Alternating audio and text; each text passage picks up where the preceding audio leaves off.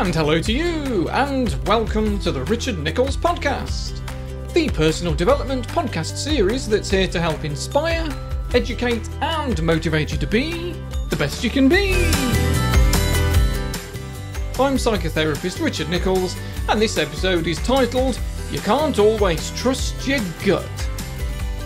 And if you're ready, we'll start the show. Hi there, everybody. Welcome to a new month. How's it all going? Sounds weird, but sometimes it's difficult to tell, isn't it?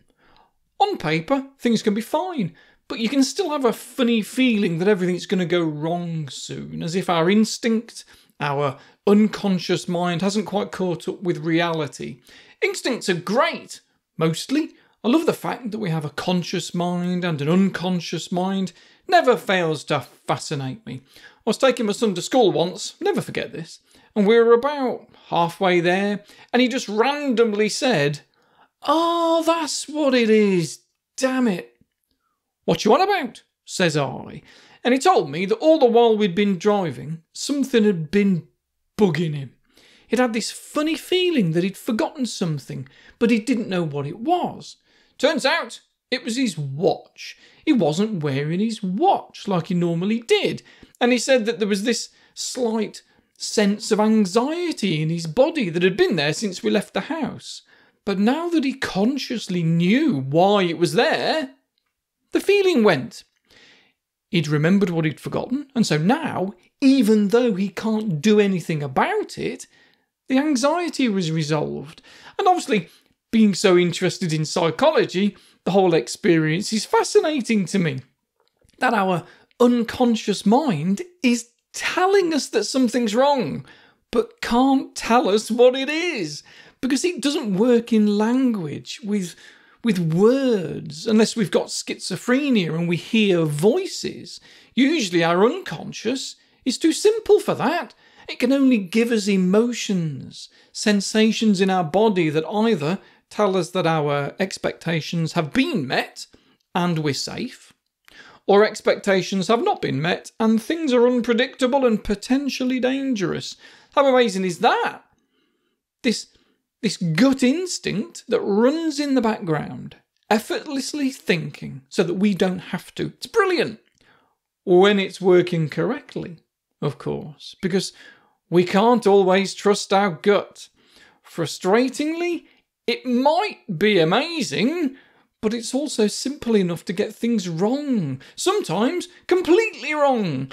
It's one thing for it to compare our reality with our expectations when we're driving to work and we've got to take a diversion, and our unconscious mind goes, Hey up, what's all this? Wasn't expecting to be driving down here today. And it makes the journey feel a bit funny. Or there's those properly bizarre videos that people make deliberately doing things wrong, like cutting cake in a weird way or tearing kitchen roll but not along the perforations. You can find them on YouTube. There's a whole genre about it called unsatisfying videos. It makes you feel funny watching them because they're of normal, everyday things that you might do or see all the time. Things that our brain has prior experiences of, and so creates an expectation. And when those things don't go according to our expectations, it makes us feel anxious. It's very weird. But when our prior experiences aren't healthy, like being mistreated, neglected, abused, then later in life, when we're in a friendship or a relationship where we're not being mistreated, neglected, or abused, then it's not going to feel right. It's going to make us anxious, like I was talking about last month on Patreon on the trauma reenactment episode, if you heard that. And this is all part of the good old fight or flight response, the stress response. We're all descendants of people who, if we're honest, only survived because of the stress response. Back when our brains were small and we only had unconscious thoughts. We didn't think consciously, we only had our instincts to guide us. And here we are, millions of years later, still using those instincts because it still keeps us safe today. But instead of leopards and crocodiles and so on, it's keeping us wary of each other. And therein lies a problem because the fight or flight response doesn't just make us feel anxious. Life is mostly, I hope, the absence of the fight or flight, making us feel safe. So, as well as feeling as if we need to withdraw from certain people, it plays a part in who we are feel drawn towards, whether that's casually, professionally, or romantically. Our gut instinct will tell us whether it feels that things are right or not. But it's only a feeling.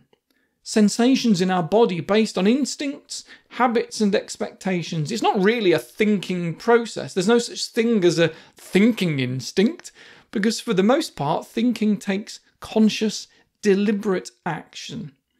So, much like the abuse reenactment thing I was on about the other week, meaning that we can't always trust who we feel safe around, we can't always trust who we feel anxious around either. This is prompted really by some comments that I regularly see on the internet on mental health forums that I occasionally dip into, where someone might say that they've met someone and although they seem nice, they are conscientious, thoughtful, and interesting, something just doesn't feel right about them. And so many people reply with things like, Go with your gut, trust your instincts. If it doesn't feel right, then it isn't right. And there might be times where that's correct. There might be times where, because of attractiveness or something, we miss the subtleties in somebody. That could actually be a red flag.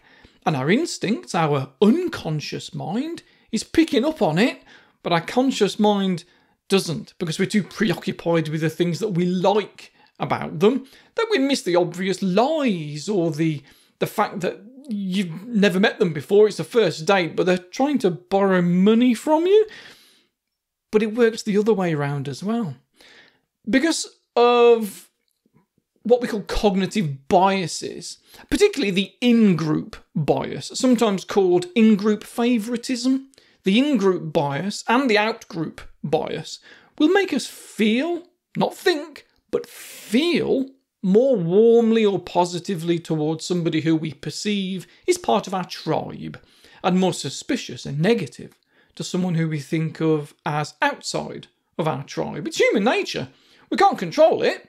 Well, we can, but it takes conscious effort. It takes thinking, not feeling, because you can't always trust your instincts. Remember the whole CBT theory thing? That emotions influence thoughts, while this happens with the in group bias, we feel safer with the person who we perceive as one of us, which leads us to have what feels like a genuine opinion when we've given it no thought at all, but it leads to thoughts afterwards. But thoughts that are based on feelings rather than on actual critical thinking. And that shouldn't be how we form our opinions. We need to actually think for ourselves because we can then miss out on a lot of the opportunities to make great close friends just because their Bumble profile mentioned that they're a heavy rock fan and you like jazz. Having 10% of them being something that you don't associate with shouldn't stop you from feeling connected to the other 90%. But the outgroup bias is likely to give us a negative feeling towards them. And that might mean that we don't even read the rest of their profile and we miss the fact that they are actually really interested in some of the similar things that you're interested in, and you could have had some great times together. So, this is why job applications that managers need to look through, they can sometimes not show people's names. HR will strip those out. The recruitment departments know that people have this unconscious bias which means they're going to favour people who they feel are part of their in group. And it can easily mean that the ideal candidate for a job gets completely overlooked just because they don't have a, a, a white name, for example, or specifically you can see who they are and they're not a middle class white bloke. Cognitive biases have a lot to answer for because combining the in group and out group biases with what we also call the halo and horns effect you get these unconscious drives to have opinions and beliefs that don't have any real basis. The halo effect is when we see one trait about somebody that's positive and it shines a positive light on everything else about them. And the horns effect is the opposite. By noticing something negative about somebody, it then sours everything else. It's why advertisers get celebrities to endorse them. If it's an actor or a singer that we've probably already put a halo on, then that celebrity's opinion about Premier Inn or SodaStream or whatever becomes more appropriate to us. And the horns effect is the opposite. If you already have a prejudice about someone with an Irish accent, for example, because you once got conned by somebody pretending to tarmac your drive and they just disappeared off halfway through the job with your cash, which is a story we've heard a few times, it easily turns into an unconscious bias the next time you meet bloke with an Irish accent and you discount someone's opinions and devalue them. You might consciously condemn racism and say how cruel it is, but we will still fall for it. Most studies suggest that racism is impossible to eradicate. It's a human, tribal, unconscious bias that can't be switched off, but it can be recognised in us.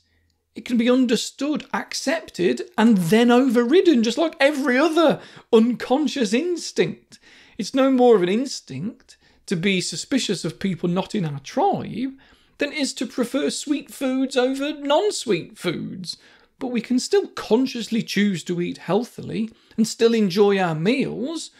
But we have to accept that the bias exists in the first place. You can't override something that you refuse to accept is there. It's why people who are overweight get judged so much, not just for being overweight, but other aspects of them get judged unfavourably as well. They get overlooked for promotion, they don't get through interview stages, they're generally perceived as not very clever. Easy experiments to arrange if you're studying psychology and you want to have a go on this. You get a series of images of people who are overweight and some who aren't, and you have quotes randomly assigned to one of the people, and you ask participants to rate how much they agree with the statements. And what we tend to find is that the statements are considered more favourable if the person that the quote is associated with is slim. This is how stupid we all are. And it holds us all back. It stops us from enjoying TV shows because the characters aren't from our tribe. It prevents us from enjoying music because it's not in our native language. The reason I think this is so important is because of shame. What has happened over the last, I don't know, 20 years, maybe longer, is that if someone reacts to their unconscious biases, they display a low opinion of someone for no reason other than they're from a different tribe, a different culture, a different lifestyle, different gender identity, sexuality, whatever. If somebody says they don't like gays, they don't like Jews, they don't like people with Down syndrome, they are shamed by the public. They're shamed for admitting something that's a part of them. Now, I don't think they should be proud for being prejudiced, but I do know that shaming somebody for something is not a particularly successful way of getting people to address their problems. And we're all guilty of that on social media. Oh, I make those mistakes on Twitter sometimes and think, oh, for goodness sake. But it makes the other person double down on those beliefs. That's why fat shaming doesn't inspire weight loss. If it did, we wouldn't have a problem with obesity because people have been fat shaming their children and grandchildren for decades because it feels like the right thing to do. Back to that gut instinct thing again. It might feel that if you criticize, it's going to encourage motivation in somebody else. Nope. You can't trust your gut. Remember, you need to actually use your head as well, whether that's in how you handle questions in your relationships, or where you stand on the train, or whether you sit in the only free space, but it's next to the guy with a St. George cross on his t shirt. Be aware of your gut, but don't always act upon it. Right, time to go. I'll be back on Monday on Patreon as always. The link is in the description if you'd like to support me on there. Not sure what I'm talking about this month. I was thinking about ego states, motivation, setting boundaries, and insecure attachment in relationships, I think. But they're just penciled in. But you've got a plan, haven't you?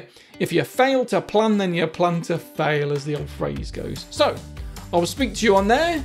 In the meantime, be good to yourself, be kind to everybody else, don't take things too seriously.